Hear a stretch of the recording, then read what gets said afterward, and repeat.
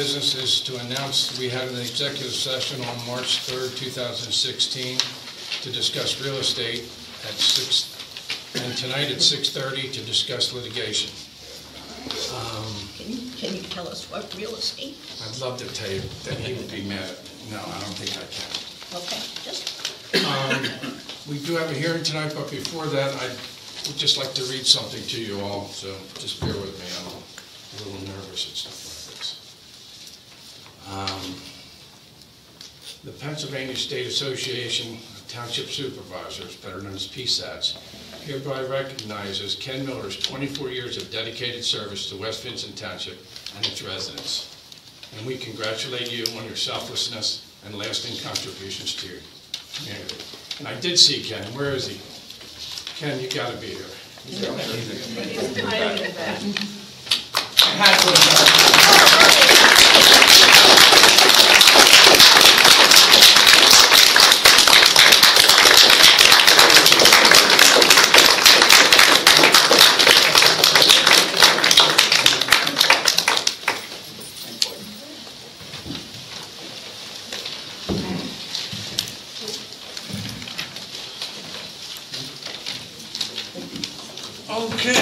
First order, or the next order of business is the agricultural security hearing for Ken. Miller. And I'm gonna turn the meeting over to our solicitor, Joe McGrory. At this time, I'll open the hearing and introduce into the record as Board Exhibit 1, the application itself. Board Exhibit 2, the notice of the hearing. Board Exhibit 3, the proof of publication. Board Exhibit 4, the West Vincent Agricultural Security Area Advisory Committee minutes. Board Exhibit 5, the West Vincent Planning Commission minutes and Board Exhibit 6, the Chester County Planning Commission minutes, um, all recommending inclusion of this land into the ag security area. And with that, is Mr. Miller present? Here, Could you step forward, please? can I stay back here? Sure, can you stand up, please? Yeah, I had knee replacement surgery a couple weeks ago, Oh, I'm sorry to hear that. Um, so call fast. Raise, raise your right hand, please. Do you swear to tell the truth, the whole truth, nothing but the truth, so help you God? Yeah, The amount of land that you're proposing to be added to the ag security area is less than the amount required by statute, but it's my understanding that it's adjacent to other land that you own yes, that is already in the ag security district, correct? right. So you'll join those two parcels together for one ag security area? Yeah, same ag security district. Yeah. And then there's actually another twenty-five acres adjoining me that I don't own that is in the same district. too. Okay. Um, Does anyone have, anyone on the board have any questions for this gentleman? Not Does anyone from the audience have any questions? Does anyone from the audience have any public comment? With that, I'll adjourn the hearing, reconvene into the public meeting portion of the agenda. This matter is in a position for your consideration. So what does that mean, Joe? Would be appropriate to move to. Now you can move to- To approve it, approve it. I so move. Second. Well, Then I'll ask for any input from the audience tonight.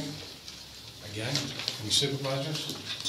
And all those in favor? You have you have a hand. Oh, I apologize. Suzanne? John, do you want to explain to us what this is about, so that everybody understands what you're voting on? Uh, I'm gonna let Joe do it. It's pretty simple and straightforward, okay. but I'm gonna let Joe explain. There's certain areas protected by the Ag Security District, and I guess the the biggest um, advantage to the landowner is that governmental entities cannot then come in and condemn your property for various uses. So it gives them some protection and protect their agricultural use. Excellent. Francis? Um, This refers to a question that I had at the last meeting about um, maintaining our equipment since, We- We're not there yet. This is the agriculture security. Oh, oh, So. I'll come back to you on that. that's our public comment, sorry. I saw another hand up back there someplace, no? Any other comments? Last chance, folks. Okay, all those in favor? Aye. Aye. Um, Next, we're up to Francis's public comment on non-agenda items. Francis? Okay. Um, The last meeting, I asked, do we have a maintenance program for our equipment? And um, I I wasn't given an answer, do we? Yes, I do have an answer for you. I- I- I wanted to call you and give it to you, but somebody I was married to decided that it would be best coming to it at this meeting, so everybody heard. We specifically asked about a corrosion control on our equipment after Yes. they stopped using it back. And they do use a chemical every time after a snow event to wash the equipment down. I forget what that chemical is, but Okay, uh, and this was in reference to the piece of equipment that was all rusted out and, it was 19 years old. well, you know what, a lot of people around here have nineteen-year-old tractors and they aren't rotted and rusted out. It wasn't rusted out, that's why it was worth $17,000. All right, thank you for your answer. Any other comments, non-agenda items? Suzanne?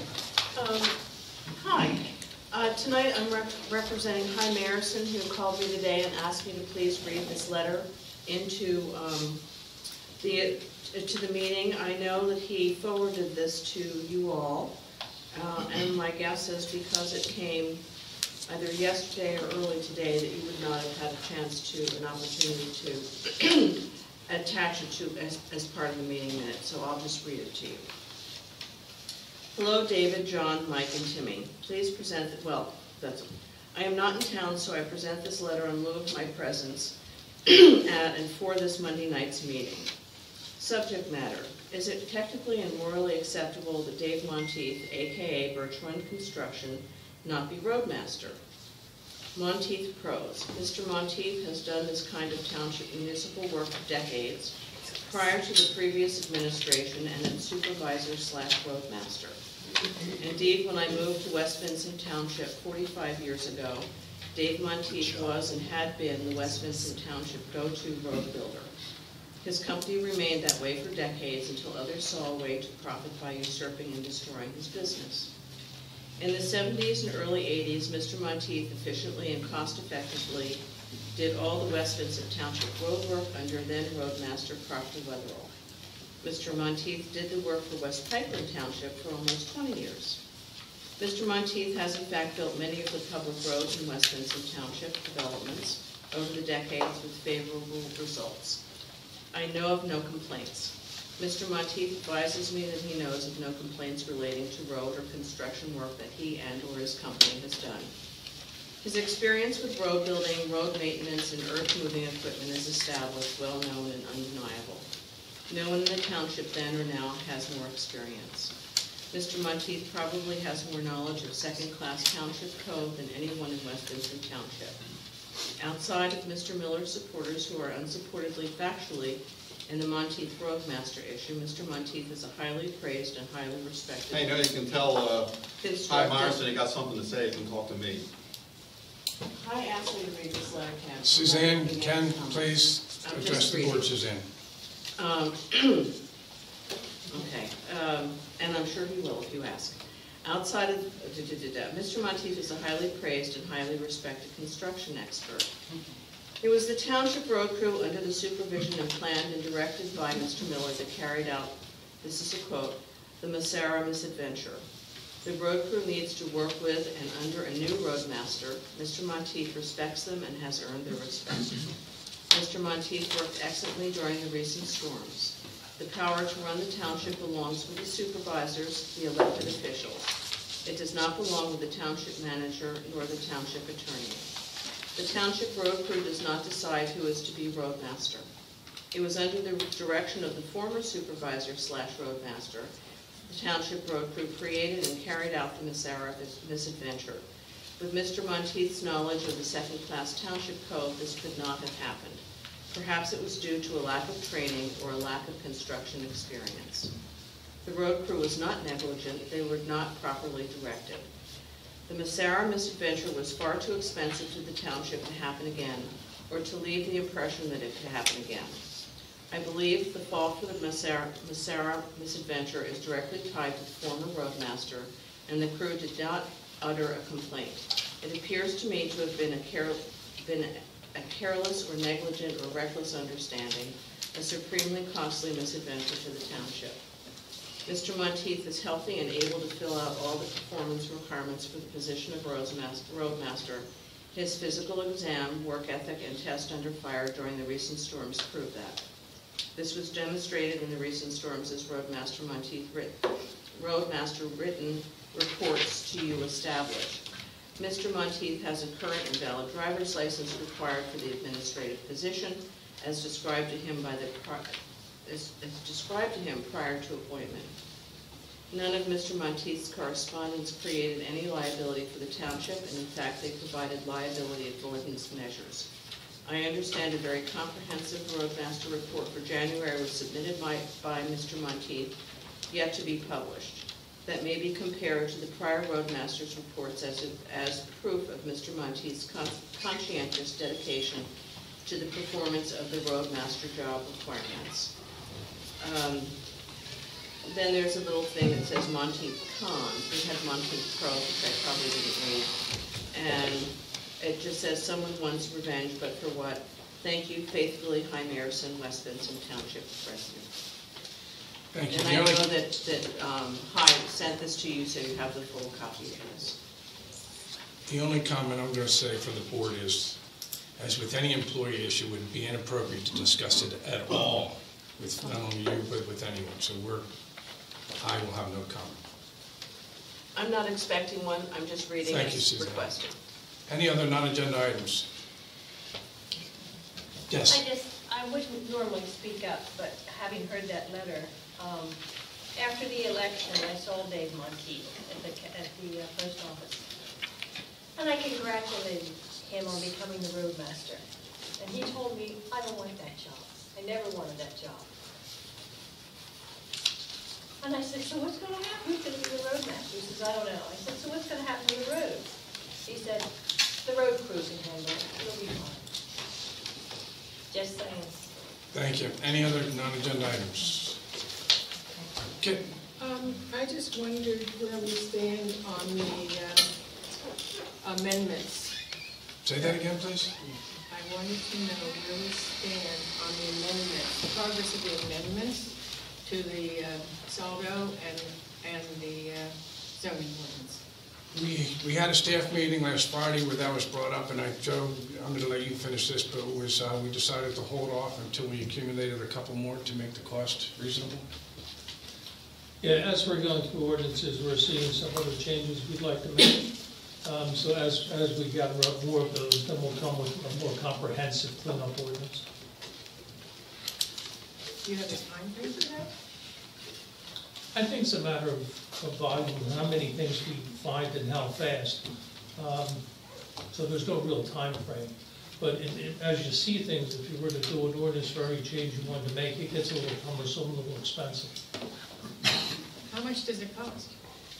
Well, It can cost thousands of dollars to be passing ordinances every time, so you want to gather up a lot of the changes you want to make and then do it in one shot. But what does one ordinance cost? The particular ordinance you're speaking of, I'm not familiar with, so I don't know what that cost to prepare already. But It's already uh, prepared. I understand, that's why I'm saying I don't know what it costs to have prepared, because it's done already. The ordinances in the future generally cost a couple thousand dollars to be passing ordinances. But the one that exists there, it just has to be advertised. What does the advertising cost? We're going to add things to that ordinance, instead of passing that and then having other ones that we pass immediately thereafter. That's the added cost. The added cost is, we see things now that need to be changed that are not in that cleanup ordinance. So we want to add them to that ordinance that's already been prepared. Did Okay. you say you weren't familiar with the ordinance? I am not that familiar with the ordinance, but I found other things that I know are not in that ordinance, that I would want to add to it. I don't see any harm in being more comprehensive, I don't see any harm in adding things to it. Do you see any harm in adding things to it? I thought it was quite complete the way it was. I didn't think it had hit. Would, I- in fact, I, maybe you could give me an example of something that you would add to it. I'm not going to take up public meeting time going through all the ordinances, it's just categorically speaking, we're encountering things that need to be changed. It's more than just a s- sustainability committee. There's other things like the Airbnb, just to throw one at you. I know, we're waiting for Airbnb, but is it No, we're not, complete? that's in the same holding pattern as, as sustainability, and there's a couple others. I've not heard any interest in not doing it. It's only a matter of time, yet with some other things that we've come across. Okay, and then I have one other question, Sure. and that's where we stand on the, um, West, Westover Lane. I'm sorry. Westover Lane. Um, As far as getting that, you're talking about the plant and the final thing, the, that settlement. Um, It hasn't been addressed. Um, Brian hasn't even gotten the punch list yet for, for the um, uh, Could you- Weatherstone. Could you add a little clarity to your understanding of her There was a lawsuit, Yeah, so is this about completing the landscaping and the berm along Weatherstone as per plan? yes. Okay, And it thank you. might be off a little bit, but it's not as off as far as I thought originally. Gentleman all the way in the back's been patient. Hi, Mark Daywalt. Uh, Just a, a quick question about road maintenance. Resident for about 15 years, so correct me if I'm wrong, I don't know that there's ever been a written plan for road maintenance, at least one not accessible to the residents. Um, Is that in your minds to change? Will there be a public access to a plan for road maintenance? Excuse me, and secondary to that, is there any thought given to a mechanism for residents to report road hazards, potholes, traffic lights, etc.? Let me introduce you to Timmy. She's our road maintenance foreperson. Okay?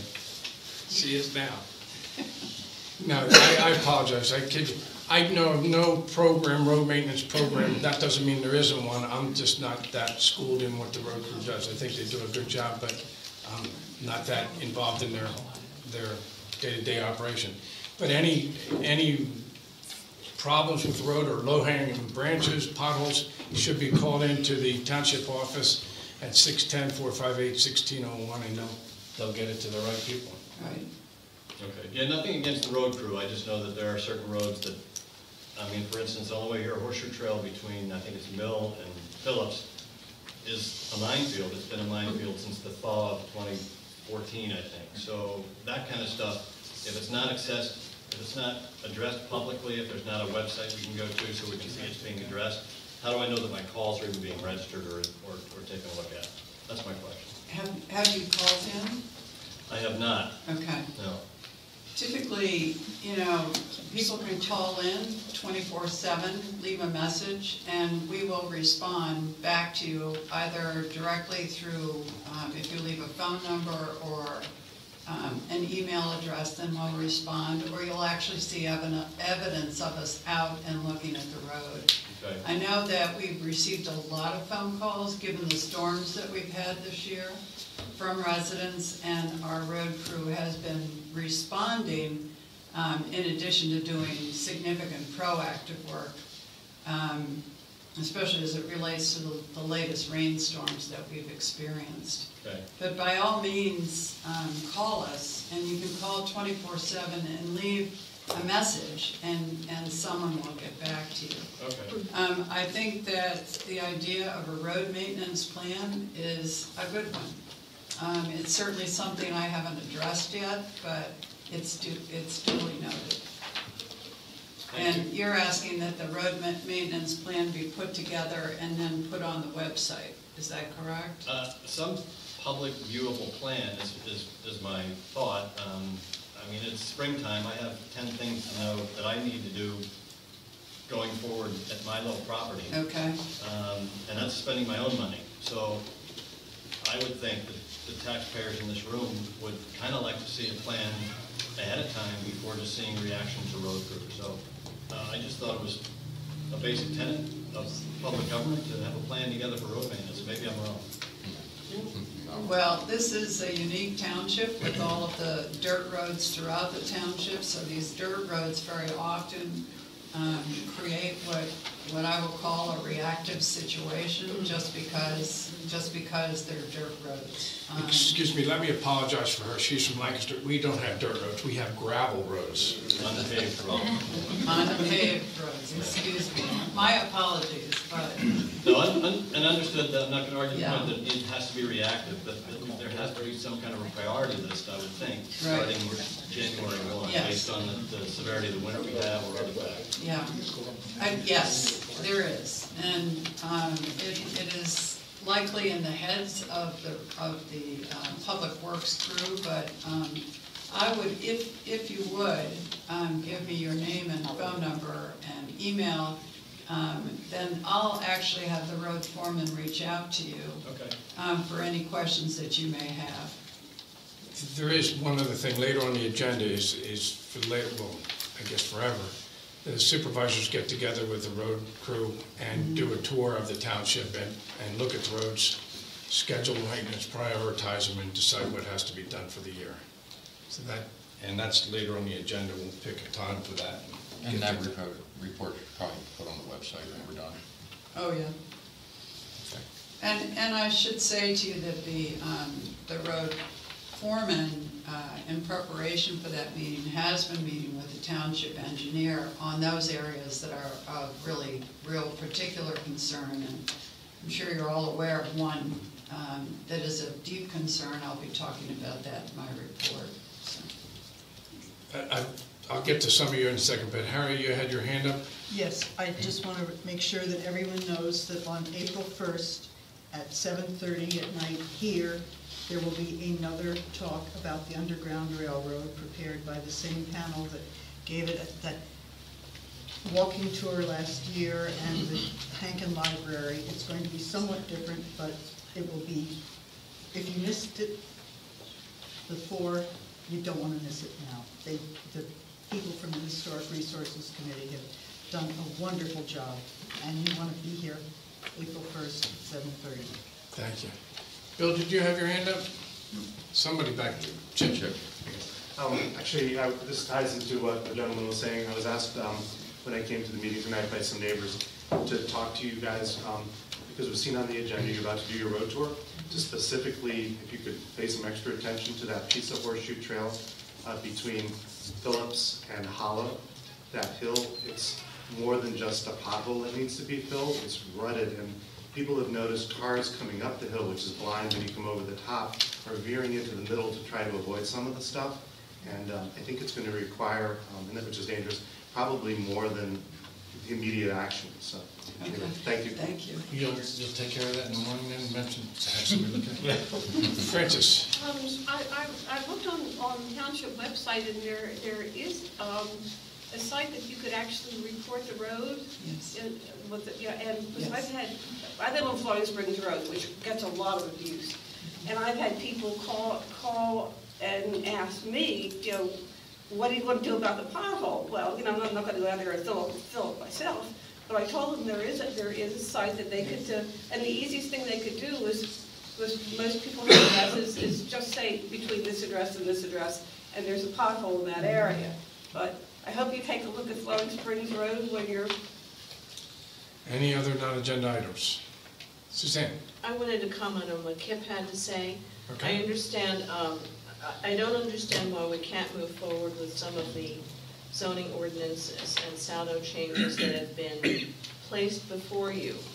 And the reason I, I can understand it financially in one way, but what if um, there would be a large development that would come along that would be affected by these zoning ordinances and saldo changes, and we had not made them prior to the sale of this, these properties?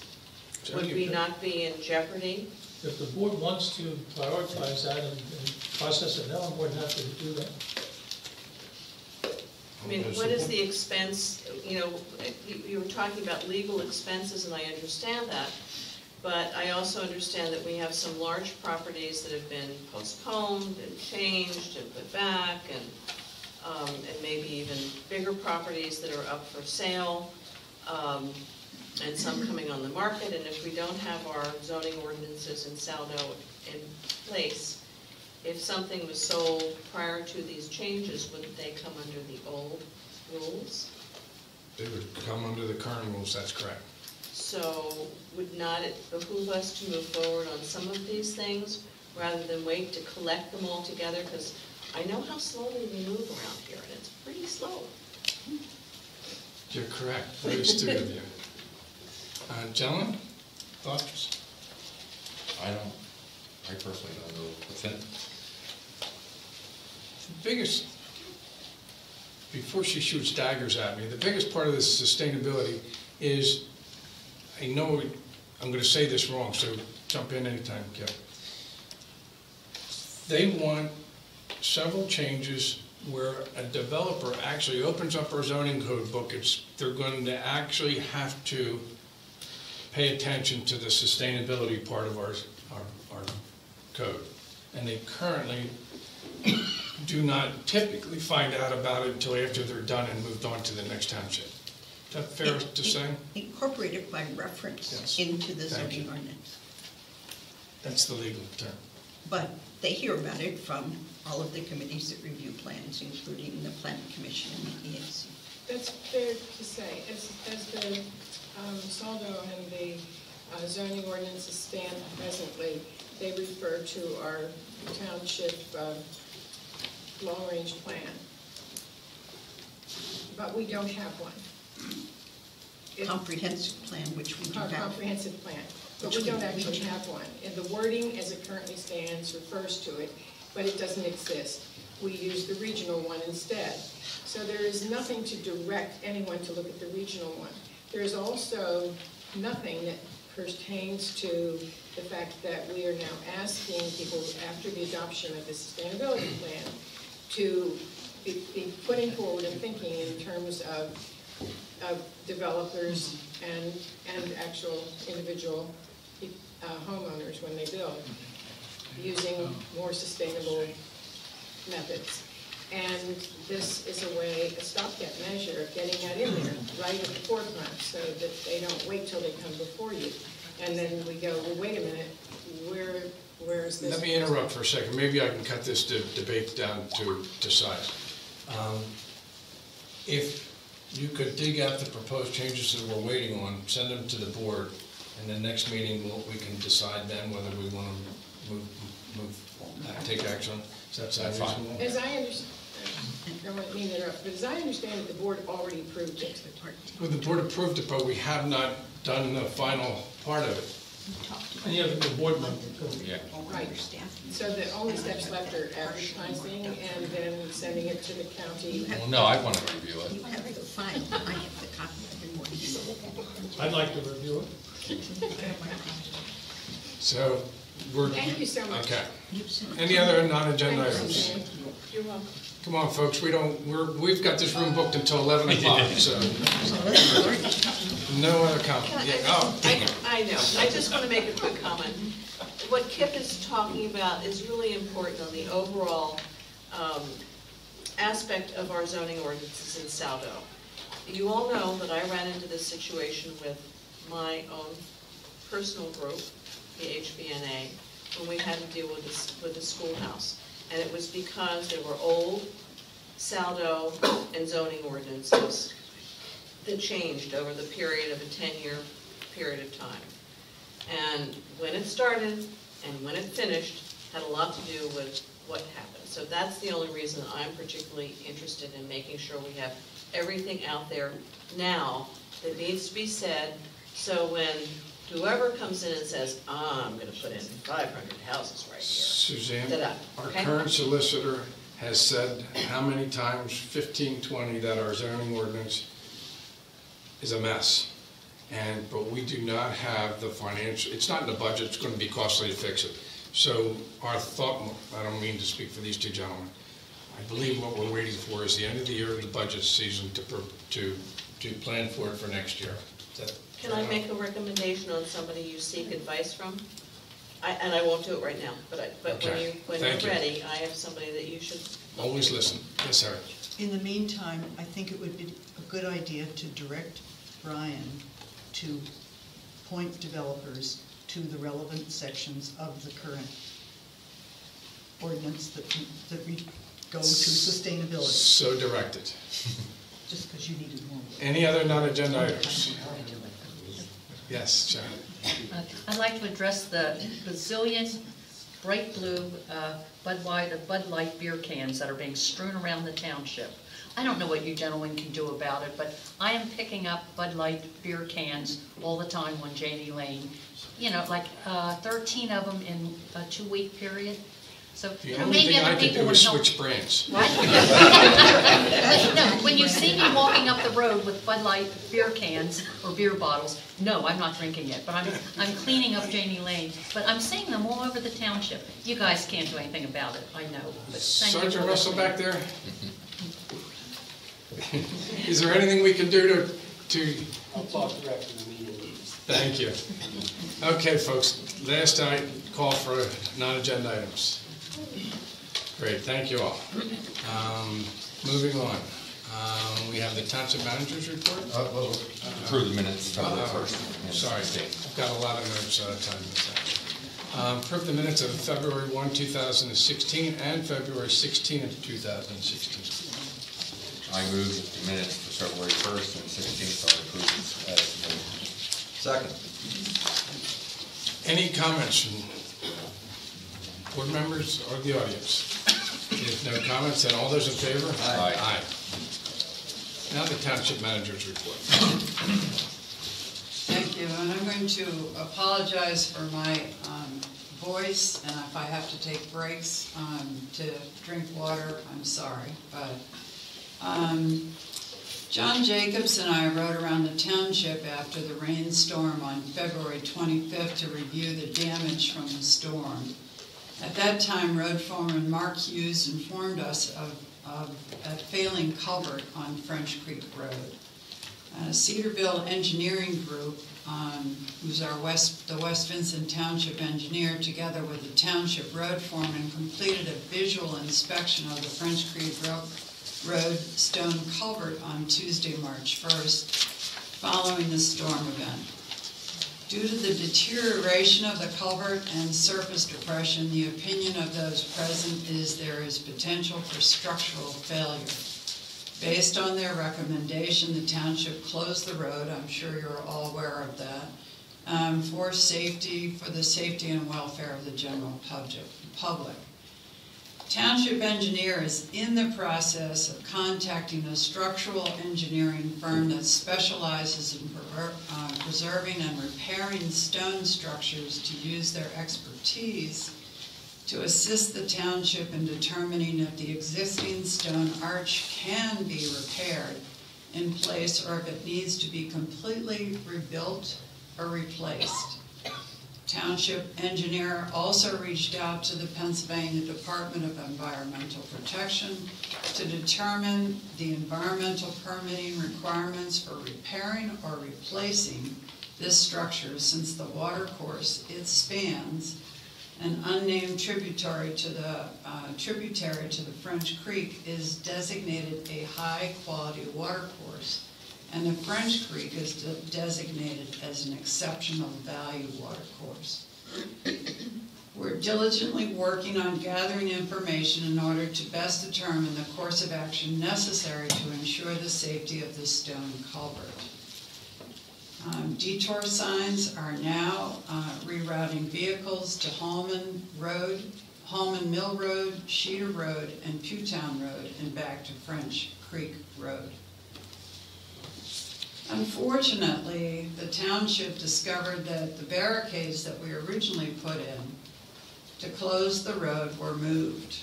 We therefore um, had to get heavier barricades, and, and they've now been put in place, and they're more permanent structures. Um, It should be clearly understood that this is, this is an emergency closure of the road, and it was done um, because of an imminently dangerous situation. So that's, that's been our um, most significant issue in the, in the last week.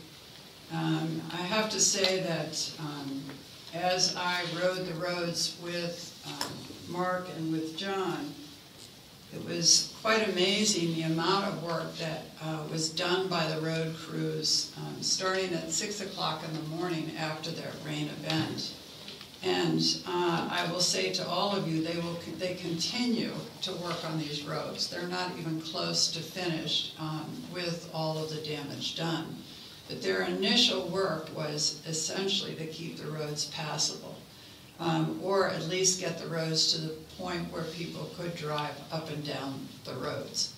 Um, And evidently, as they were working as early as six in, in the morning, they were getting lots of waves of gratitude from people who were uh, working to get out and go to work. So I want to go back to the month of January um, with the, the Public Works crew. Um, And it should be known that um, uh, Mark Hughes, who who is the road foreman, does submit a weekly report to the township manager um, on all of the work of the road crews. So during the month of January, um, they checked roads and equipment maintenance, they mowed several roads, um, clearing out the shoulders or the banks, um, cleaned out pipes on several different roads, ditched, ditched several roads, worked on signs, filled in potholes, took trucks for state inspection, checked plows, installed spreaders, salted roads on January 12th, 13th, and 18th and um, continue to do regular maintenance to all of the equipment. Um, They installed plow instec- and uh, extensions on the plows and um, checked on reported tr- tree issues and prepared for the big storm. Um, During January 22nd, 23rd, and 24th, during that time of the big storm, they plowed for probably up to 48 hours during that blizzard as the township declared um, a state of emergency during that time, along with the county and the state. Uh, In February, the road department um, again continues its ongoing maintenance on township vehicles. They salted roads on February 5th, um, and they've met, as I said earlier, with the township engineer on different roads to discuss repairs. They also met with the Weatherstone Homeowners Association um, to discuss um, better communication between Weatherstone and our crews, um, especially when, when we experience very large storms. Um, They have met with residents to discuss trees. Um, The Public Works Department is um, very much involved in looking at the trees throughout the township. Um, Any trees that they feel are dead or can come down um, uh, on the roads or, or create a dangerous situation. And they interact regularly with private citizens, especially if those trees are on private property, to assure that the trees um, are either trimmed or come down. Um, They've met with arborists uh, as it re- relates to all of that. They checked all the dirt, dirt roads, I'm sorry. Gravel roads? Gravel roads uh, after the heavy rain. And um, we've met with neighbors on right, right-of-way issues and also with residents uh, related to storm damage. Um, As I said earlier, we do take in calls all the time, and we welcome them. Um, Certainly, we try to get around the township as much as we possibly can. Um, And as I said, at six o'clock in the morning, after that major rain that we had in February, the crews were out and repairing the roads. There's just so much that we can see, it's always helpful to us to hear from people to find out where the major issues are. So, um, that's essentially, and not all of it, um, uh, much of the activity of the Public Works Department through January and February. Um, Moving right along, on the Fellowship Trail, there was extensive discussion on the Fellowship Trail. Uh, You will recall when I first arrived here, I think one of the first things that I announced was that we were moving forward with the plans on the Fellowship Trail, to final plans on the Fellowship Trail, utilizing the former township engineer. Those plans are now in, and um, we've been approached um, by um, Brad Dyer, who is the chair of the Park and Rec Commission, about um, reopening the conversation with the church. about this trail. And so we've agreed to do that. And we've had a good discussion, I believe, with Brian Styche, who uh, is representing the church, and also um, um, with the folks from Upper Uwchlan. And um, we, after having what I thought was very good discussion, believe that it might be best, especially with the plans as they're drawn right now. The um, original plans that were drawn had the trail in the right-of-way and very close to 401. That was originally brought before PennDOT and they rejected it as being too close to 4, 401. Um, These new plans have a much narrower trail and the trail is so narrow that they don't um, meet the standards of trails, and therefore, they don't meet the standards um, that would allow us to go after additional funding for this trail. So what we're proposing, and I talked to the Park and Rec Commission about this, is to divide the building of the trail in two, um, such that the western portion of the trail gets done, uh, We feel that this will bring a lot of efficiencies in the program, um, but when I talk about efficiencies, I'm not bringing it before the Board of Supervisors tonight because I want to make sure I dot my i's and cross my t's and bring you as much information as I possibly can on what that means. Um, I will say very publicly that it was a good discussion between us and Upper Uwchlan Township. They were grateful to be brought to the table right at the beginning of this new discussion, and um, also us and Brian Styche, who represents the church. Um, The other benefit that Brian brings with him is he is with the County Planning Commission, he is their trails person, and so he is very well connected as it relates to funding. Um, For this year's budget, there is 170,000 built into the budget for the trail. Uh, Building the first part, I anticipate will be less than that, um, but the timing is such that we can't go after money right now. So delaying the second part for further, um, and, and what I anticipate to be very productive discussion will allow us to go after funding for the second part of that trail. Any Um, comments? I have, Okay. I'm not done, sir, I'm sorry. I'm sorry. Can we put a time limit that? I'm sorry. Um, I'm uh, delighted to announce that uh, on the, on, at the Planning Commission meeting on March 17th, which is St. Patrick's Day, that to me is a high holy day, I will just say that to all of you, being the Irish lass that I am. Um, Rusty Strauss, um, who is a supervisor from East Pikeland Township, will be discussing the Phoenixville Regional Plan and the benefits of um, being a member. Rusty is the former chair of the Phoenixville Regional Plan Committee. Now Yes. sir. Any questions for Tim? Okay, moving right along. The active uh, subdivision list, is there any action that needs to be taken tonight? No? Uh, Next, we're moving on to the bills list. So a little change on the bills list, I'm surprised Brian Curry didn't notice it right away, but he might have.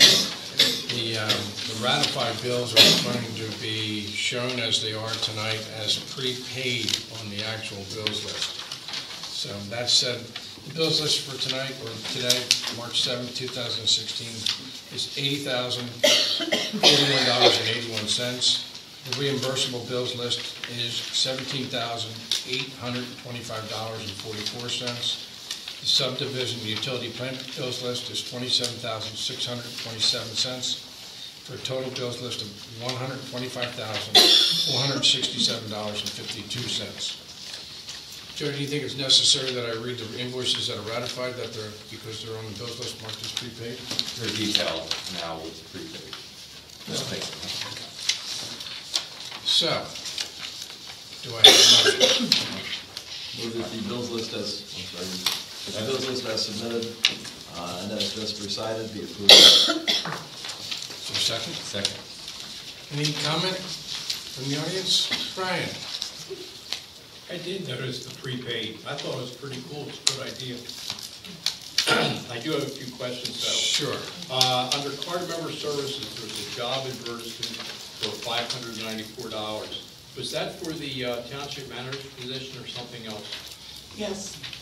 Okay, was that in the Mercury or was that in other, other uh, publications? No, it was, uh, excuse me, I have now lost the voice. Um, It was with the um, International City County Managers Association, so that, um, that's the best association to go through to conduct a national search. Okay, sounds good.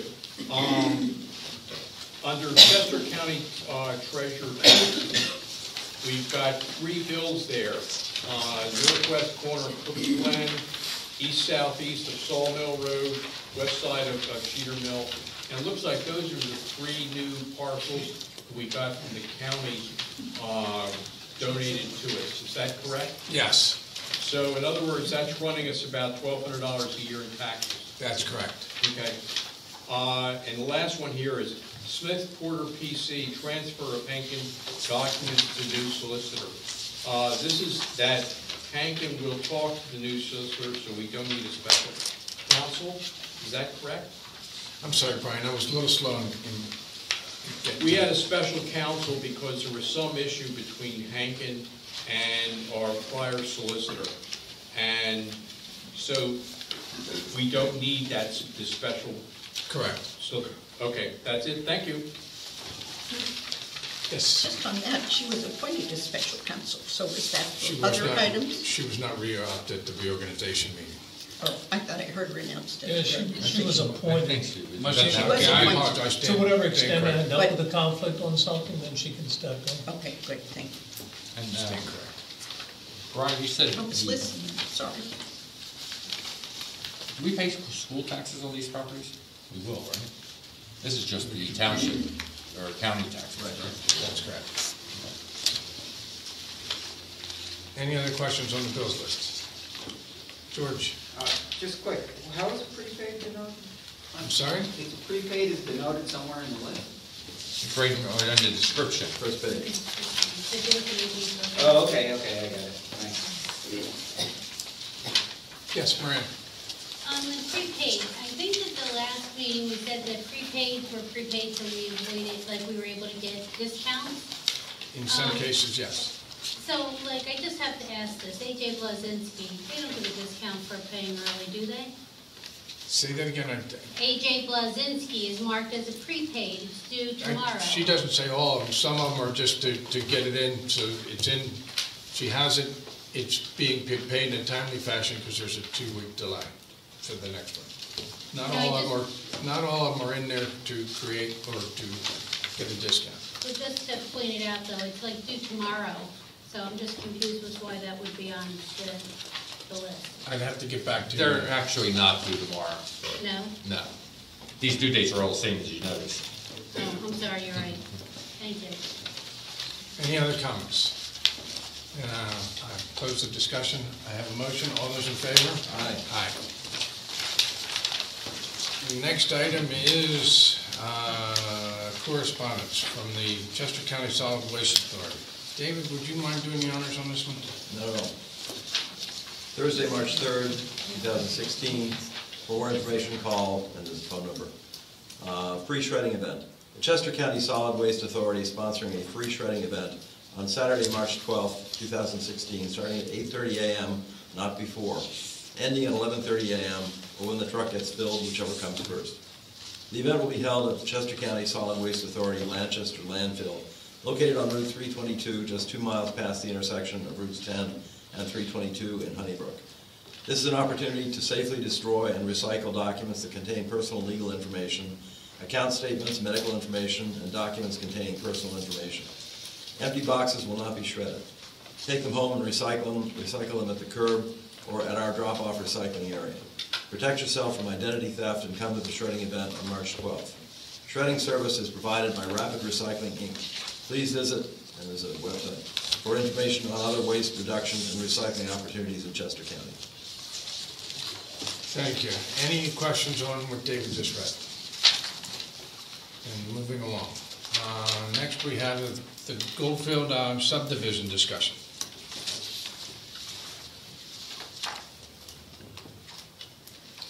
Don't everybody jump in at once. Brian, you want to brief the board on what that subdivision's is about? Mr. Morrison is here. I'm here representing, so, do you, uh, Why okay. don't you, if you don't mind, can Okay, you stand up and basically- give us the short version? Um, There's a six acre- acre parcel which was owned by uh, Carol Meyer, which we had purchased a year ago. We are subdividing that on- um, into two three acre parcels. We've gone before the planning commission and have gotten a recommendation. I believe Dennis from uh, Macomb had talked to you, there's a recommendation by the county planning commission to uh, grant an additional right-of-way along Flowing Springs Road, which is a state road. Currently, the existing house is non-conforming and in the right-of-way, the one that goes all the way back to 1800 or the turn of the century back there, and I now know who built that. Had a great conversation with uh, Isabel, and uh, she filled me in on all that went on back then. It was really, really enlightening. But uh, we felt that um, by granting more right-of-way, we would just exas- exasperate the uh, nonconformity, and that we will be writing a letter to the township uh, asking for that not to happen. Any questions? Brian, do you have anything to add to this? Can you interpret the uh, Carroll Engineering letter for us? The, um, my recollection of the Carroll Engineering letter was they didn't have anything outstanding for comments, and that they reviewed the stormwater management and found that there was no deficiencies with their design, and that the only outstanding item was the county planning commission letter, which we just, which I just looked at for the first time last week. And the only comment in that letter was to request additional right-of-way. And this is the first I'm hearing about the location of the existing house to the right-of-way. And if that is indeed the case, I have no issues with their path moving forward. Yes. We reviewed the letter and that non-conformity of the planning commission, and uh, the planning commission did not recommend the extended right-of-way. You know, it's advisory from the county, and we thank them for their advice. Uh, We held, we held off sending in the letter in case there was any other comments we needed to. I'm sorry, start I'm sorry, but we, we held off sending in the letter until we found out if there were any more comments from the board after this meeting to send it in. So are you saying that the, what this gentleman is suggesting is what the planning commission recommended? This, this parcel is right across from where Sawmill Road comes into Flowing Springs, and the old house is right smack on the road.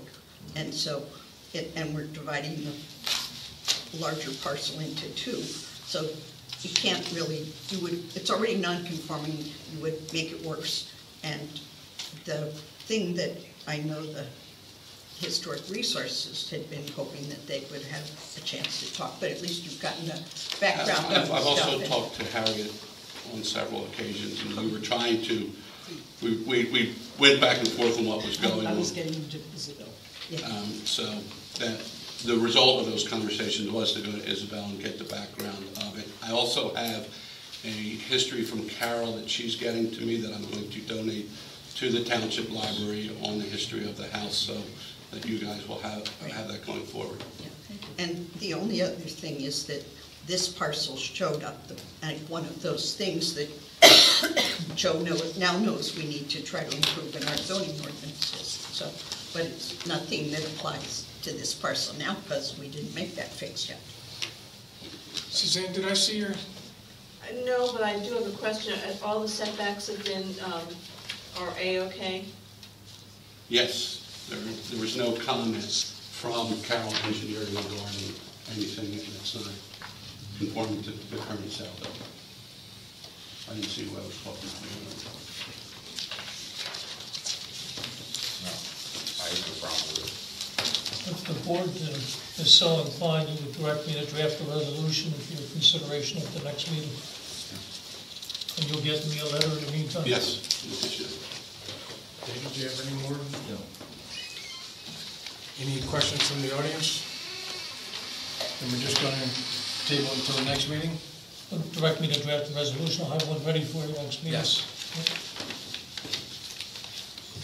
Okay, then we're just gonna move right along. Thank you very much. Thank you for coming in. Um, Next is under old business, we have ordinance one sixty-nine two thousand and sixteen, regulations to establish emergency communication systems. With this, I'll open the, um, the hearing and introduce into the record Board Exhibit One, which is the ordinance itself. Board Exhibit Two is a proof of publication. Board Exhibit Three is the legal notice. Board Exhibit Four is a proof of receipt from the law librarian in Chester County. This is an ordinance actually proposed by Chester County to promote emergency um, communication within buildings, so that if you can't um, communicate with emergency equipment in a building, that you supply what they reference as an amplifier in this ordinance, so that emergency communication can be conducted throughout the site. Um, Goes into testing procedures and field testing and so forth. Recommended by the county, and, uh, and I, uh, I also recommend it. With that, does anyone on the board have any questions? No. Does anyone in the audience have any questions? Anyone in the audience have any public comment? Hearing and seeing none, we'll adjourn the hearing, reconvene into the public meeting portion of the agenda, and this ordinance is now in a position for your consideration. Can we take care of that right now? Yes. Okay, we already, So I move that the ordinance one sixty-nine, two sixteen be approved, amending the West Vincent Township Ordinance one twenty-five to provide additional modifications to the adopted UCC in order to better serve communications among emergency providers and personnel within the structures by requiring adequate radio coverage and testing procedures. there's, second. One last time for uh, any questions from the audience. Seeing none, all those in favor? Aye. Aye. The Next item is, first item under new business, it's a 2015 Township Audit Report. Who would like to handle that one? I will, I'll start. Okay, go ahead. Um, It's my pleasure to introduce Pam Baker, who is the, an audit partner with Barbacane Thornton and Company. Uh, They are the official auditors for the township, and she is here tonight to present the audit report. Thank you. Thank you very much, and thank you for having me this evening.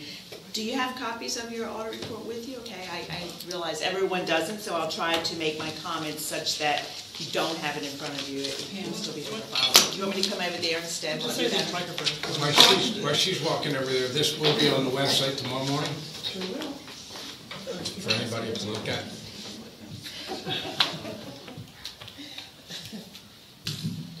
Very good, thank you. Okay, that'll work even better.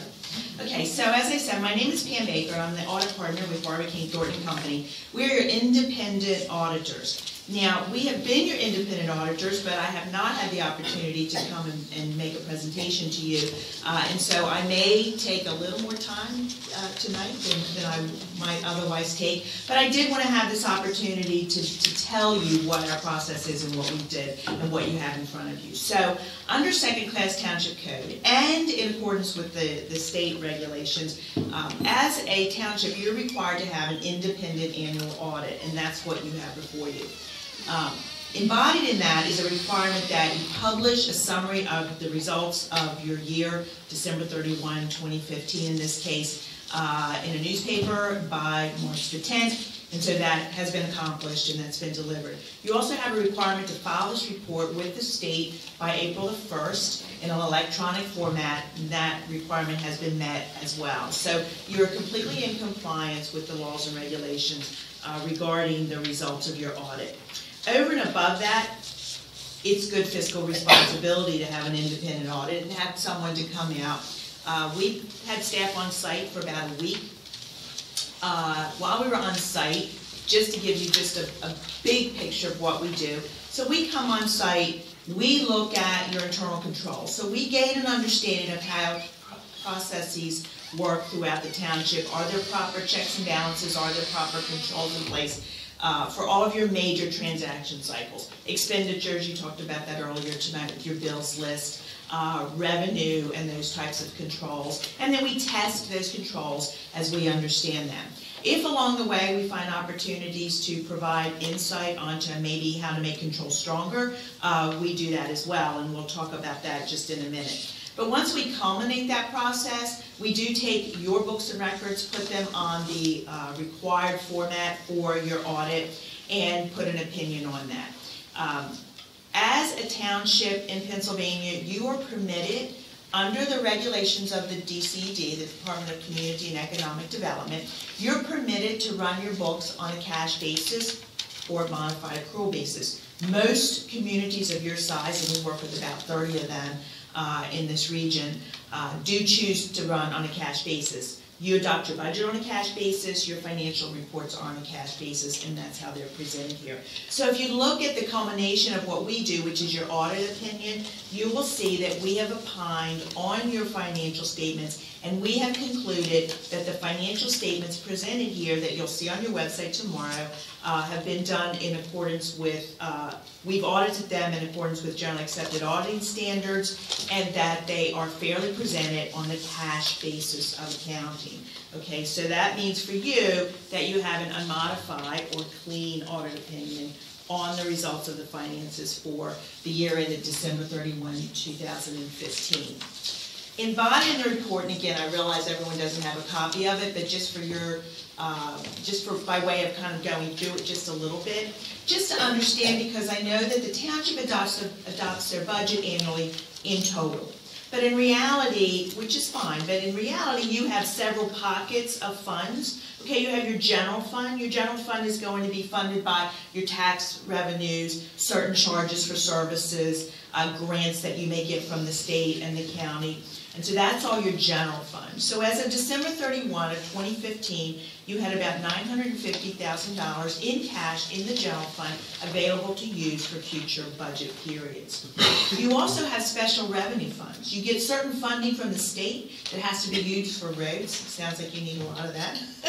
I doubt you're going to get enough to cover all your road issues, but uh, so that's a liquid fuels fund or a state highway fund. That's special revenue. You must use those funds for roads.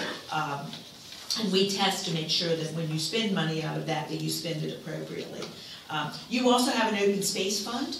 Okay, so you have tax revenue that comes in, earned income tax, a piece of that is dedicated and must be spent on open space or open space related expenditures. So in your case, you've borrowed money in the past to pay for open space, so you're permitted to use that money to pay for the debt service on that uh, and to purchase new open space. Those combined balances are on this report and reflect about $1.7 million rounded uh, in cash at the end of the year, most of that being the open space. Your liquid fuels money uh, doesn't amount to that much. You also, as you know, have some water and sewer systems that have been dedicated to the township as development has happened uh, through the years. And so that has to be separately accounted for as well. So the funds that come in for those residents that pay for water and sewer go into an enterprise fund for water and sewer. Uh, At the end of the year, that fund had about $1.3 million in it. And all funds there have to be spent and are spent for the use of maintaining these water and sewer systems. And then you have some escrow accounts, and we're going to about that in a minute, uh, which escrow accounts uh, cannot be used for any other purpose, but that's when you're holding money perhaps for development of some sort that has bills associated with it, and you're just holding that for that development. Um, so that's kind of a breakout, and you will have seen that in your reports on pages three and four, when you just look at the cash balances. Uh, beyond that are the revenues, okay, so the revenues, I just kind of summarized, they come in uh, for different purposes. If you look at, we'll just kind of touch base perhaps on the total revenues by fund for the year. So if you're following along on page 10, excuse me, on page 9, so the general fund for the year ended December 31, 2015, brought in about uh, $4,353,390 in revenues, okay? Your special revenue funds, which again, that's liquid fuels and open space, brought in $947,000. Your water and sewer system charges brought in $687,000. Okay, so that was on the revenue side. On the expenditure side, expenditures are going to be on page 15, down at the bottom. So for expenditures, your general fund spent about $4.7 million, $4,678,000. Your general fund is going to go for your general government operations, the, uh, public works, police, that's where most of your general fund dollars are being spent. So for the year ended December 31, 2015, your revenues fell short of expenditures in the general fund by three hundred and twenty-four thousand dollars. So you spent more than you brought in for general fund operations. But as I pointed out earlier, you do have funds available in the general fund. Um, the special revenue funds ended up with adding sixty-five thousand, six hundred and fifty-one thousand dollars. Uh, right now, your liquid fuels money is paying for specific road, uh, and, and related expenditures. Your open space funds right now, the EIT that's coming in, is using, being used to pay off the debt service on the outstanding debt that you have that was used to purchase open space. Your enterprise funds, the water and sewer operations, um, added about three hundred and twenty thousand dollars to their cash balances at the end of the year. Keep in mind with those operations for water and sewer, that's just covering the basic expenditures, expenditures, right? So, um, the water and sewer is something where, you know, they're infrastructure, uh, dependent because you have to have their systems up and running.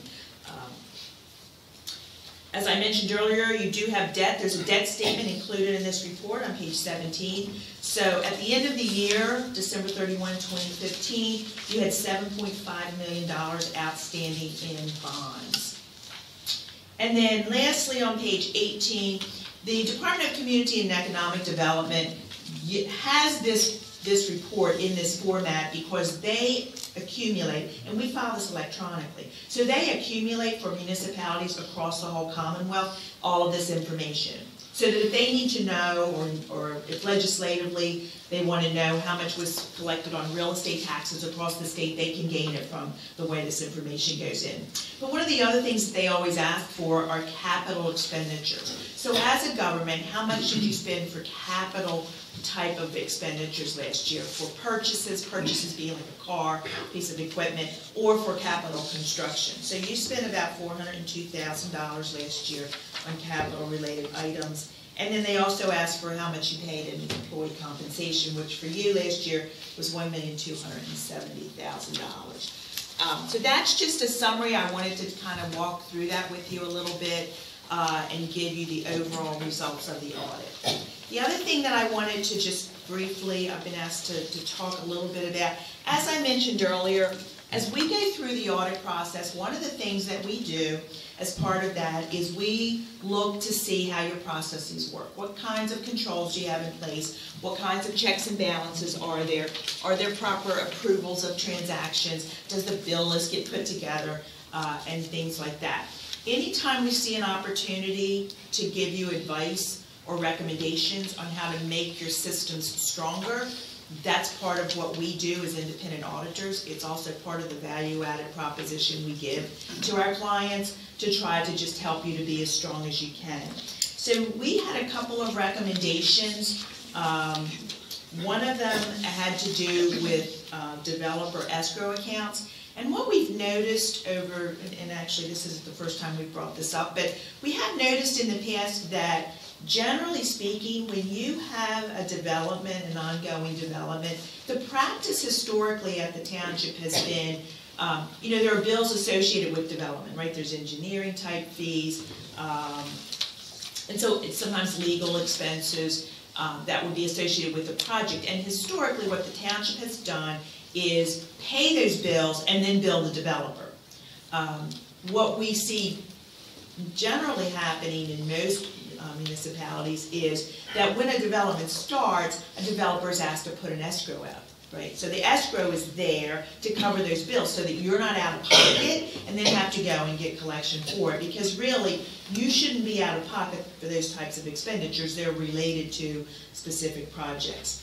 We have discussed this, and I know that your bookkeeper actually this past year is working on putting some procedures in place for that. She's reached out to us, and I know that she's on board with wanting to, to change that going forward.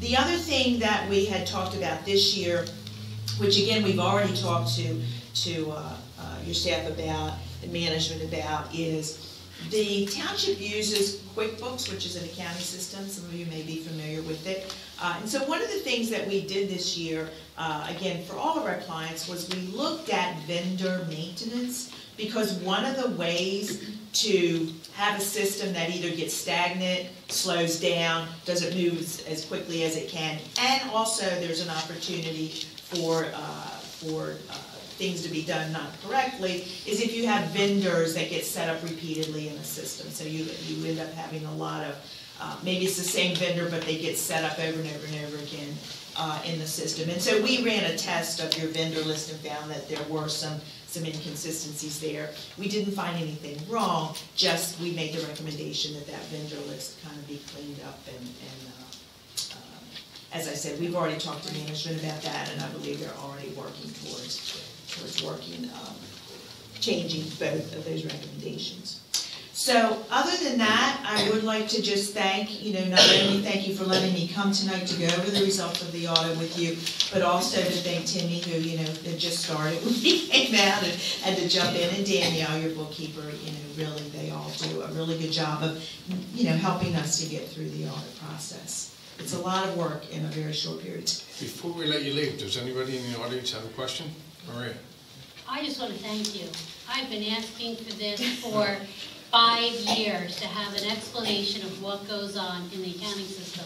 And I I didn't know this was happening, and I'm so thrilled. Thank you. You're welcome. Thank you. Yes. Brian Kerr? I will second what uh, Maria said, because we finally have an explanation of what's going on. I have one question. We had a discussion last year about whether we should move to an accrual uh, system or not. And we were told, well, it's difficult to do, et cetera, et cetera. Is there any advantage for a a township to move to an accrual as opposed to cash?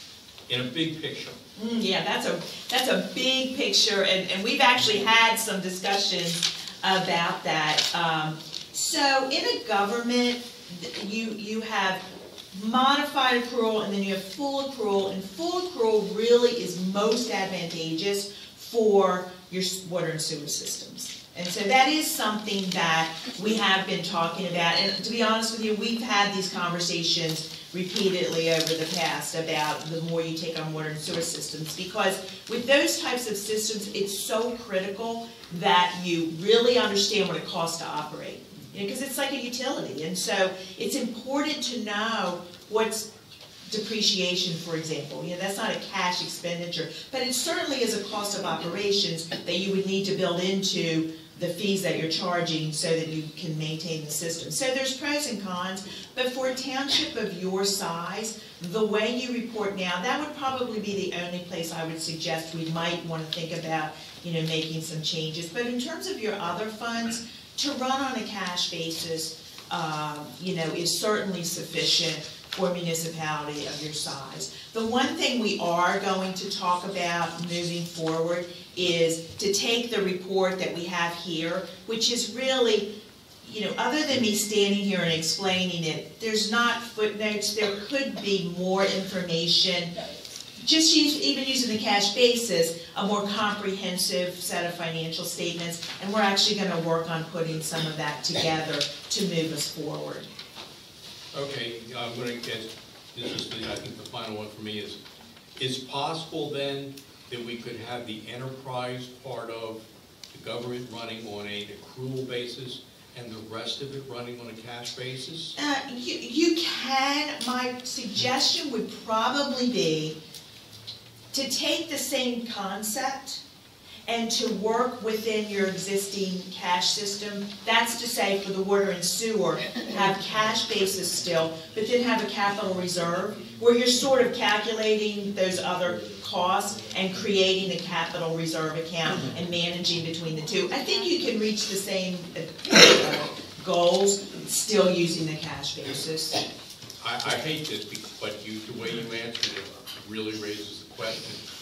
Looking at the budget in years past, we've had budgeted money going into mm-hmm. a capital reserve mm-hmm. for the, the water and sewer plants. Mm-hmm. But at the end of the year, in the report that we've seen, Right. we've had no money going into the capital reserve. Is that a problem? No, I think you have, you have some accounts that are capital reserve. There's just not that formal marriage of the two. So there are funds there. I mean, your, your enterprise, when I said how much money your water and sewer fund have, it's included some bank accounts that are capital Okay. reserve. Yeah, so it's not like you don't have anything there, Okay, thank you. okay? It's just kind of making it a little more. This gentleman. Hi, yes, thank you. Um, uh, Your auditing is, is only year-end or is there mid-year? And and question two was, you say you do other townships and so forth. Um, Do you ever uh, encounter in your audits, um, looking at the, the top three variances on the budgets and then advising uh, townships on how to lessen those variances? Well, I I don't have my magic wand. Um, so, one of the things that we do, to answer your question about the audit process, we are covering the calendar year. So when we audit as of December thirty-one, we are covering the activity for the, the entire year. We don't come in during the You year. don't do a mid-year? We don't do a mid-year, we do everything at the end of the year. Um, in terms of variance analysis, we do, uh, some analytical work to compare not just budget to actual, but also to compare current year to prior year. And certainly, and maybe this is even a, a better response for you, uh, certainly because we work with so many municipalities that are similar in size, if we see a trend, we're gonna share that. If we see that there's, there's something that someone else is doing that would be a benefit, we're gonna share that. By the same token, we also create expectations because of what the economy is doing and what we've seen. And so if we have, for example, the easiest example of that is, if there's a really bad winter, then we have an expectation coming in that you probably overspent for anything road maintenance wise, right, or salt, or things of that nature. And so we look at trends like that in order to determine that, you know, you're within bounds for what you would be spending. George? So, uh, just to review back, did you say we had an operating deficit for general fund of three hundred thousand dollars last year? Yes. Yes, yes. Is that something that we should be? It's not a good thing, that's for sure. It- But keep in mind your cash basis, and so hand, with that, whereas you would not want to run recurring deficits every year, but you do, you did end the year with, with almost a million dollars in the general fund. So it's not a trend you want to, want to, you know, so you'd really probably want to look at one to two, or two to three years, excuse me, of what's the trend been. Because cash basis, sometimes it just depends on when the bills come in. I understand. So what, what can we do? You- You're not gonna audit us, but we certainly have our own uh, bookkeeping and control. And it seems like we should be able to run a report quarterly and see what we're doing this year, or monthly. It'll be run monthly. Yeah, I think, that- I think some of the things that we talked about when we were on site, uh, some of the suggestions going forward, you know, is maybe to do some, a little more budget to actual analysis or. We're getting, we're getting real close to doing that in the next week or so, like, two weeks or whatever.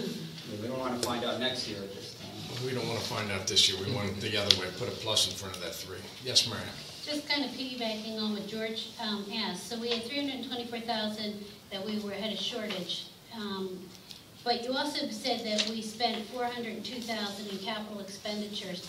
Are those four hundred and two thousand coming out, is that included in that three hundred? Yes. So when you net them, if the capital expenditures, hopefully we've had some, I would have thought we had some reserves or whatever, or, I don't know how that's all done, but, Yeah, that's, that three hundred includes anything that you spend. so in operations, if you looked at it, the operations then was about a hundred thousand dollars off. Yeah, potentially, although there could have been, yeah, some, some of that capital, some of that four hundred was probably spent out of, out of, um, the, the roads budget, the liquid fuels. But your concept is right. Okay. You're going to have this report on the website tomorrow with the other two letters she read, and you're welcome to come next meeting with Bear with questions or calls, whatever you'd like. So you don't, you don't need to rush through this now.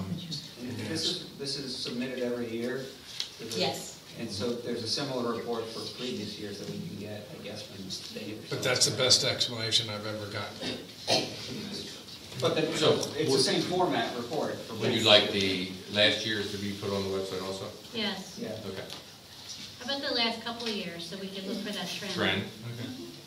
If you don't have an electronic, let me know, we can send. Tammy doesn't have a life anyway, so she's got plenty of time. Any other questions, folks? Okay, then I'm gonna move on in the, in the hopes of. Thank you. Thank you. Thank you very much. We're just thirsty. Okay, moving right along. Next item is an on-lot sewage agreement with Kenneth and Angela Frank. Still awake. Um, still awake. Brian, do you want to bring us up to date on what I'm looking at here? Is this a, is this a trick question? No, they want to put on a sales stand, and they need to get an agreement through you guys for maintenance. I haven't read it recently, sorry. You haven't read it, okay, well, I did. Um, And it looks okay to me. But at our staff meeting, we talked about what we've done in the past. Um, Tammy, help me with that. Is three months times whatever the haul for us escrow? Right, so this, that's on a monthly hauling, this is a yearly hauling, so I don't know how you want to adjust that. Okay. By the way, the Franks are back here, thank you for coming. Would you like to add anything, or are you just here to make sure we approve it before you kill us? No, no, the only thing I would add is that we've maintained the system for 16 years, and uh, I understand that a certain amount needs to be in the escrow. If it's, a- if it us- usually is on a monthly basis, you know, put a year of hauling fee in escrow if that's what you need to do. I need to, to explain it to, to these two, because I don't think they're, they're aware of that. David, Dave is, okay. Um, on a pump and haul, we, if the owner should run into financial troubles or, or ignore and just keep going, we usually require three months, um, fee, so we can then take over. In this case, it's a annual fee, and, Yeah, John, this isn't a pump and haul. what's that? This isn't a pump and haul. No. It's maintenance. So, then I stand corrected, that's where I was going, with this. I thought it It's was a just so pump if we don't pump our septic tank every so many years, you have the money to do it. But you're not required to pump it every so many years. So what, how did, how did this come about? We're Tammy just- asked me to get it. It's something that the health department requires. Okay.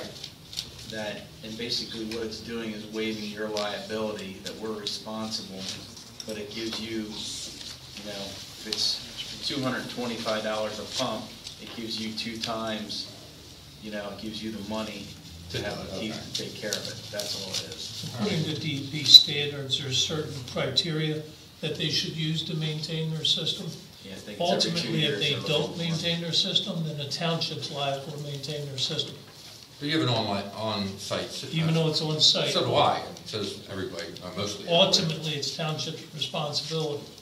So, because DEP will force that on you through the 537 plan. So that's why you keep an escrow, just in case they don't clean out the system, it starts to malfunction. Or you can step in. Is this clean only out for the system. commercial? That's for everything. So why don't I have an escrow? Because it's relatively new. Oh. But why'd they pick the frame and ask for the? But, Joe, I would argue that on a normal pump and haul, which I thought we were going to, it would be two hundred fifty, three hundred fifty dollars a month charge, and that's when it would be necessary. Their cost is, is, is two hundred twenty-five, or it's quoted by Hickman, two hundred twenty-five to three hundred dollars per year, so there's very little, Actually, we're like two or three years. Yes. It's actually. Yeah, three or five years. Yeah, Yeah. we, we do it every two or three years. so would we be remiss in not requiring an escrow? Well, it's up to you whether you want to require the escrow. Um, Most townships are, are charging a thousand dollars, they don't have any logic to it, or how they come up with it, I have no idea, it's just what they do. But if you don't want an escrow, that's, per- that's solely up to you, or you want year's worth, that's, that's your prerogative. I was also told that if you take it in escrow, that we, we would never see it again, whether we hooked up the public sewer or not, so it's just like. We're greedy business. So I'm all for no escrow. Um, Well, let me ask David and, and, and Mike for their opinion on this. It, it, it basically, it comes down to, in my opinion, escrow or no escrow. Um, Well, I think it, does it have something to do with the additional? uh, No. No? No, we're. I say no. We're at a minimal, minimal flow to begin with. Okay. I, I would say I'm a little more comfortable with an escrow. And how much? A year. A year, two hundred and fifty? Anybody care? Yeah, um, because of Joe saying you could apply to private residents as well. I mean, are you setting now a precedent for anybody who comes in for a use and occupancy permit to need to escrow their annual? What happens is, when you go to renew your five thirty-seven plan, DEP will require that you have an on-lot management system set up. And at that time. Me for my house? Yes. Do I have a- For everybody. But- But do I have a 537 plan that I have to renew? No, the township's five thirty-seven plan. I just got scared, yeah. Yeah, it's the township's five thirty-seven. When you go to renew that, DEP will force you to do on-lot maintenance as a township. But we don't have to actually do it. We just have to come up with a maintenance plan. A maintenance plan, So we part of say- which would be for you to agree to go clean out a system that the owner has not cleaned out, and that's what you're escrowing. Now, what, are we going to escrow for everybody that lives here in the township, that has on-site s- All, septic? all the new ones. All the new Eventually- ones, right, okay. Eventually, DEP will force you into that system. And I have fought DEP on this vehemently, and, but they insist on, it, they won't approve your five thirty-seven plan. So ultimately, it's gonna, it's gonna fall on your, your shoulders anyway. Well, but I- Right. if, if this is a system that needs to be pumped every two or three years, asking for a whole annual, you might want to think about a third of an annual maintenance cost, or, I mean, just. I don't care what the number. Well, it'd just be one pump, you're gonna ask for One one pump, pump, that's right. basically. I mean, it's just gonna happen to carry three years, but But can't get a third pump. Is this commercial or residential? It's commercial. This is commercial. But this So would it's apply not to resi- residential. Say that again? It, it is not for residential, No, Now, but your this residential would, isn't But it tied could to be. this. it will apply to residential in the future, but only new. yes. So you're not, it's not gonna come in and hit every single person with septic system. Or, a- or a new system.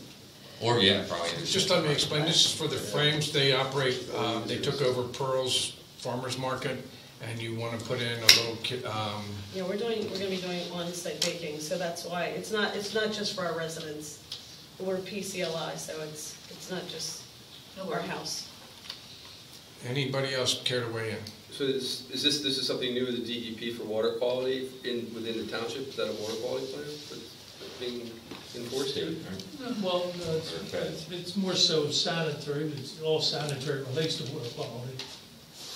But, um, it's something DEP opposes, I am not of the belief they legally can do it, but I have fought them in many, many townships, and they, they just don't approve your five thirty-seven plan. In this case, I'm just gonna throw out my thoughts on, I can't imagine doing a whole year. Would it be an unfair burden if I required one-third of the annual fee, which would be hundred dollars for escrow? Uh-huh. Okay, I, that's my thoughts. Now, what are your thoughts? well, my thoughts is, it's a pump, it's a pump out, so one pump out, a hundred dollars, you can't get a third pump out. This is for annual maintenance. Oh, you'd have, they'd have to pay this, I thought this is an escrow account. Yeah, that's so did I. That's, that's what we're talking about, mm-hmm. Is setting up an escrow account for this amount.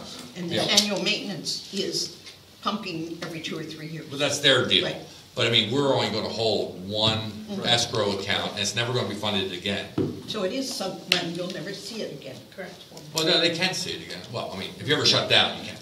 No, Why? I was It's an escrow that- account, you get it back. no, I was told that even if we hooked up to public sewer. If you hook up to public sewer, you get it back. It's an escrow account. It's an That is- escrow. I was told the opposite, so I'm not sure. No, it's your money, and actually, well, it's, it's probably below the limit for interest I'm okay with that, we had a three hundred thousand dollar deficit, I couldn't pay it. Is, uh, is the account maintained within the township or actually at a bank or something? Yes, the township has several escrow accounts for, for many different things. I've been told that that's not a problem in this case, because we do it for pump and hauls, or we have one or two other pump and hauls. Okay. Okay, folks, any other questions? Uh, Then I'm going to need a motion. Um, We might need a second one and a third one. Um, Dave? Is the amount of the the escrow specified in this? It's not in No. your, No. no, it's not in here, so you have to decide that on separate. So you get to choose what amount you want to put when you do your motion. Well, On the pumping halls, we usually go three months. There is no pump at all. I know, but I'm just saying it's a similar thing, and, and rather than doing the whole year maintenance, you're gonna find out about it sooner than that, hopefully.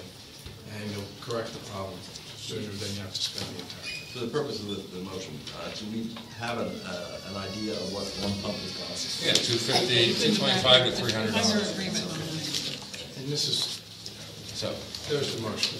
So I move the board approve the on-lot, on-lot, on-lot sewage agreement between the township and Canada Angela Frame as submitted with an escrow of three hundred dollars. second. Any discussion? I just want to ask one question. That's what they all say. And actually, it's not a question. I, I just want more of an, ex- a broader explanation, I guess. Does this have anything to do with when we reach a certain population, everyone will be, no, it has No. nothing to do with that. No, this is something that's probably started at the state, federal level, pushed down to the state, and now down, down to the county. And at some point in time, we're gonna be asked to have, in my opinion, annual inspections or, or every, o- or every other year, uh, pumping halls for your own septic tank. Well, it's my understanding that we had to reach a certain population level for that to kick in, and that it would be once every three years. I don't think so. If the pop, the Could we look population, into that before we fix a number on this? in, in this Because if it's particular every agreement, three years, then you're, you would only ask for one-third of it. This is, we don't have, this isn't in, uh, in effect yet. What? This is not in effect, is it? eventually, when you amend your five thirty-seven plan, which is not pending right now, DEP will force you into an on-lot management system where you will be escrowing for these things. In their case, this agreement ultimately makes the township liable. So because this agreement makes the township liable, the township has to escrow in their case. But that's not. But I based giving you a on- heads up that in the future, it may apply to others as we amend the five thirty-seven plan. But that's not based on a total population. No, it's nothing to do with population. We don't have to reach a certain amount for this. this- No. All right, so then is escrow, if the property is sold, is the escrow carried forward? The escrow runs with the land. With the land, thank you. I'm going to um, amend with my permission, uh, the motion, so that it would approve the on-lot uh, sewage agreement between the township and frames, um, subject to the limitation specified in Hickman's letter of March 7th, uh, which estimates the pumping charge to 25 to $300 per, per pump, and I would say 300. Second.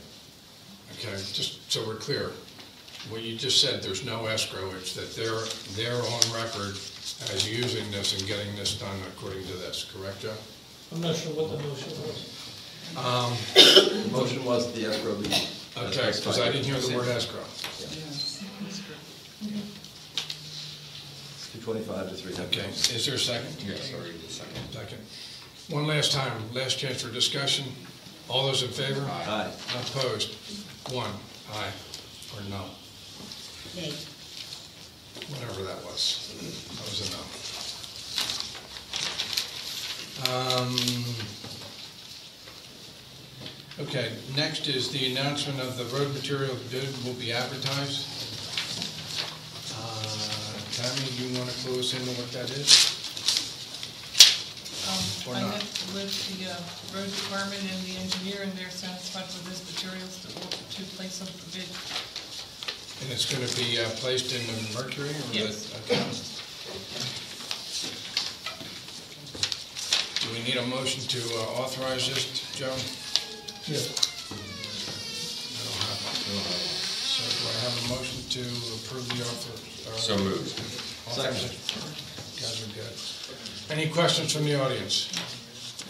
All those in favor? Aye. Uh, On the agenda, item number 10, we have announced uh, the sewer plant mowing bids will be advertised. I think there was, uh, I'd like to make a motion that that's tabled. that's what I thought I heard. We tabling that? Yes. we All right. table that. Is there a second, David? I'll second. Um, Why are we tabling? We're not, we're not ready for it No, yet, we're gonna delay it two weeks. just, are you Uh, changing specifications or? We're looking into another option for mowing. Go serve sheep, huh? Yeah, exactly. Mowing or mowing? Any questions? None of that, all those in favor? Aye. Uh, Next, gentlemen, we need to schedule a 2016 Board of Supervisors Road Tour. If you've ever been on one, it's really a lot of fun. Yeah. How many people Are you gonna can get a you bus? Take? Yeah. How about a bus? Great, Um, You think you saw a lot of beer cans before. If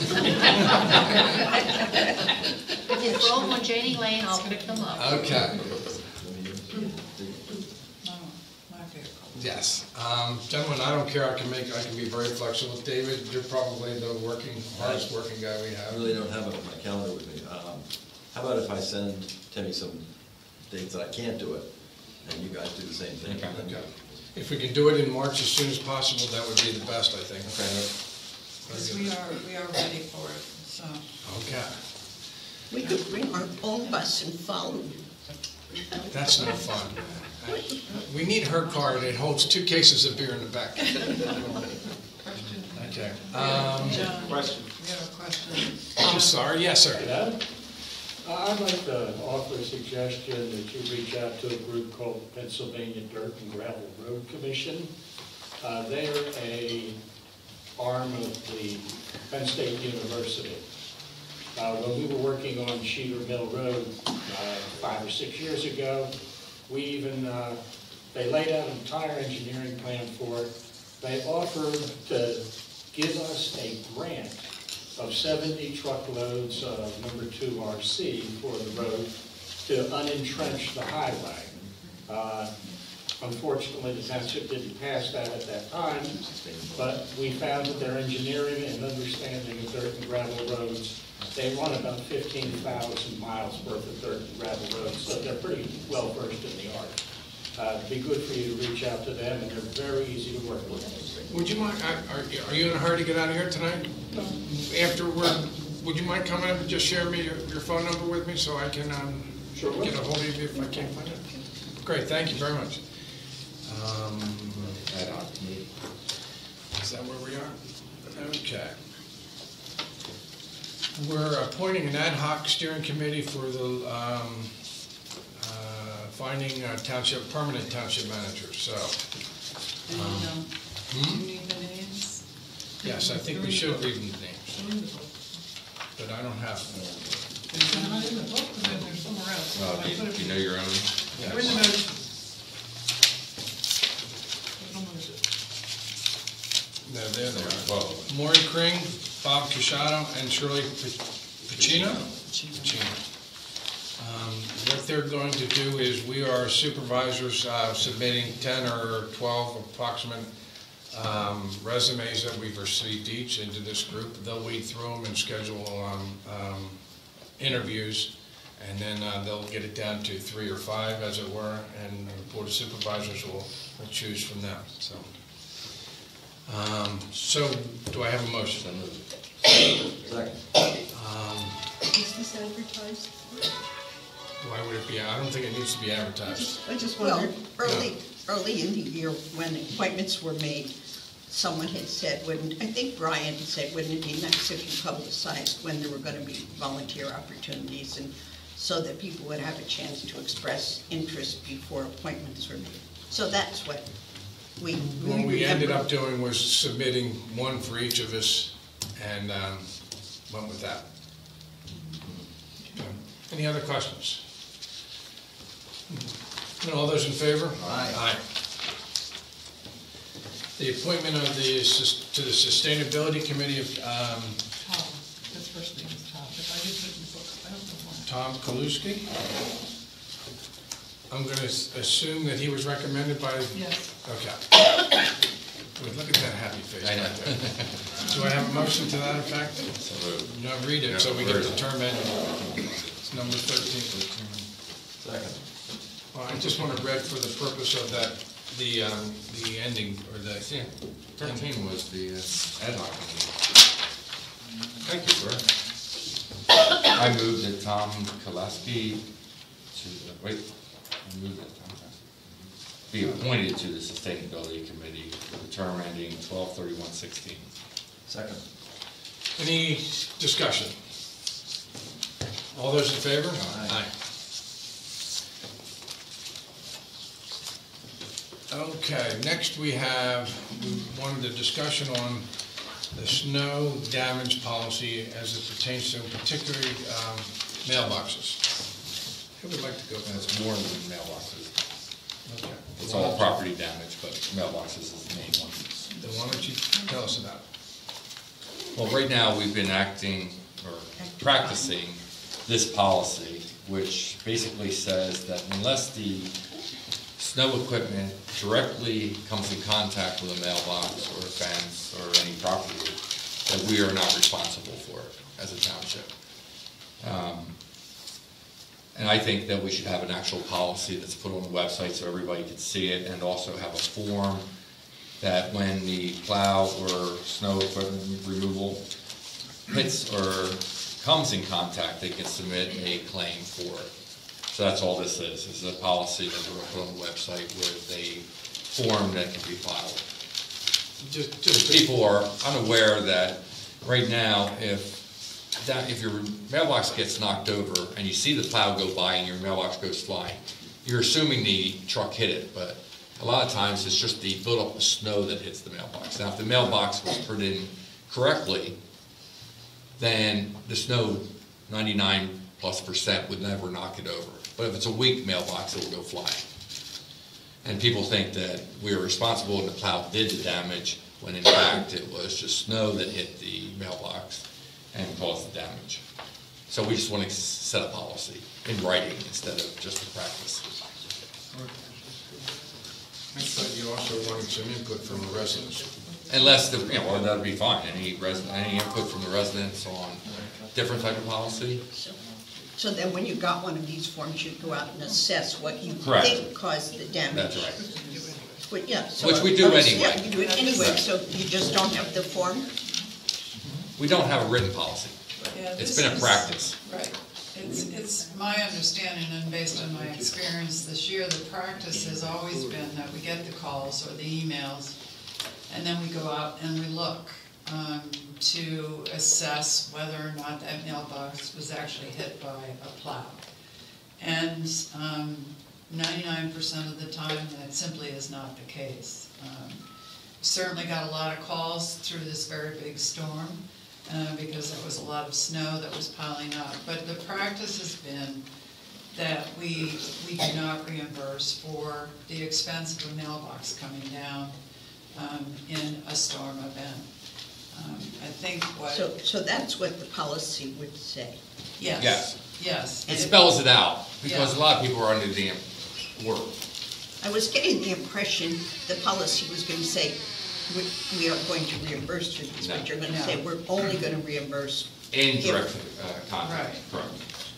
Right. Which um, would be helpful, I think, for everyone. Um, It's one thing to have a practice and to be consistent in that practice, but if you actually have a policy in place that makes that statement and a form that people can fill out, then as much as possible, you know, there is a guaranteed consistency in our practice. Yes. A week or two ago, in the Daily Local, North Coventry Township enacted a very similar policy copying Amity Townships, and it pretty much stated what you people just said, about all the time that they've had tied up with their road workers and all, going out and examining and trying to determine, and uh, they, they spent, I think they said in North Coventry, they spent two hundred some dollars for mailboxes, but countless uncounted hours of township employees and all doing stuff.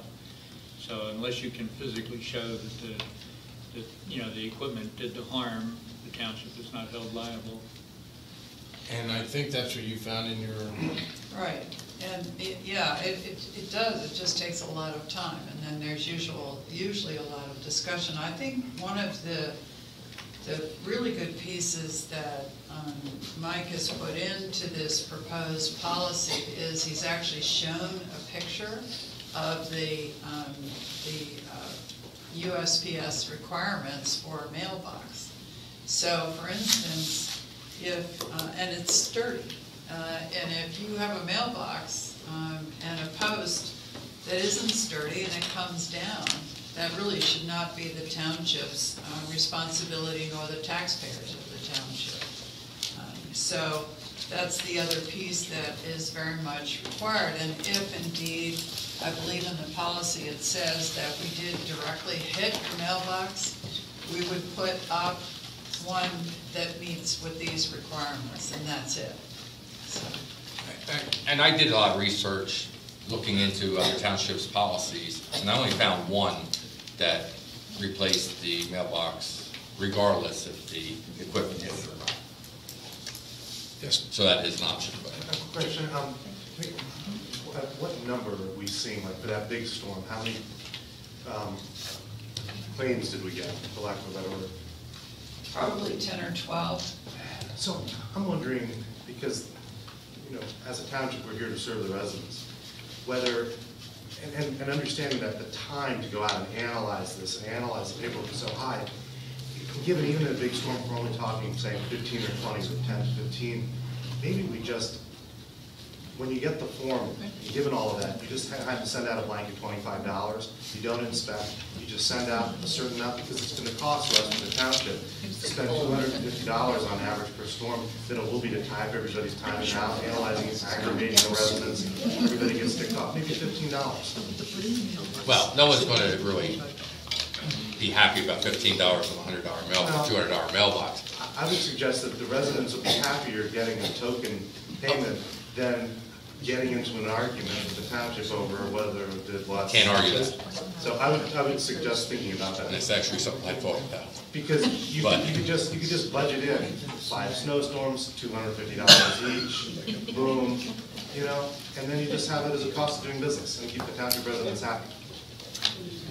I, I happen to agree with you, but more importantly, I think what we have to do, there's an inherent problem with giving people bad news, and I don't think anybody wants to tell any resident, gee, sir, that two hundred dollar mailbox you just put in isn't covered any, in any way, and we're not real good in relaying that bit of information to the customer, we've gotta do a better job with that. Well, I think understanding the policy was the. Well, that's what Mike's hoping. So moving us along, so we don't go to the witching hour, how do we handle this? Do we want to adopt this? Do we want to change it? I thought we're gonna put on the Yeah, website for public is on the opinion, Website and get, yeah. get feedback. That sound good to everybody? Yes. And that's concluding the last thing on my list. Do I hear anything else? Motion to adjourn. Second. All those in favor? Aye. Working on it. Thank